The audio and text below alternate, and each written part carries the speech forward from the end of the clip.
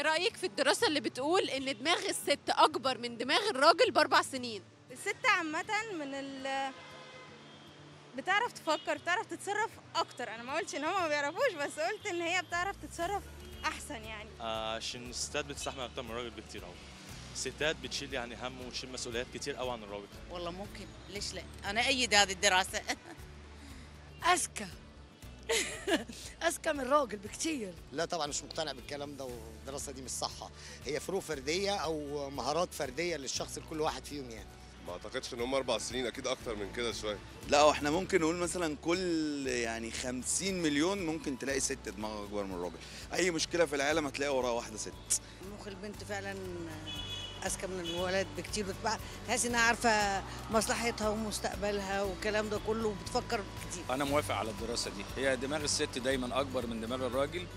وحتى في الشباب الصغيرين دلوقتي تحس إن البنت لو في سن الولد بحس إن عندها نضوج أكتر وفهم أكتر وعقل أكتر يعني. دي حقيقة. الست دماغها شغالة جدا وعملية جدا. هو الراجل بيبقى أناني وما بيفكرش غير في نفسه وفي أهوائه واغراضه ما بيشيلش مسؤولية زي الست. ولا في مطلق لا ولا لا كلها بناء على التربية والتعليم. أيوه دايما الست بتفكر لقدام بتفكر في كل حاجة لقدام ما بتفكرش زي الراجل.